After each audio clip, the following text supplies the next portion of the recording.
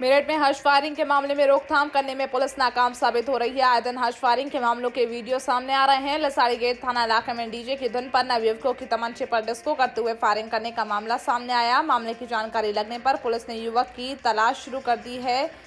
Social media पर video viral हो गया है। वीडियो में कुछ नौजवान जश्न के दौरान डीजे फ्लोर पर तमंचा लेकर डांस कर रहे हैं। इस दौरान युवकों ने हर्ष फायरिंग भी की और सेल्फी भी ली है।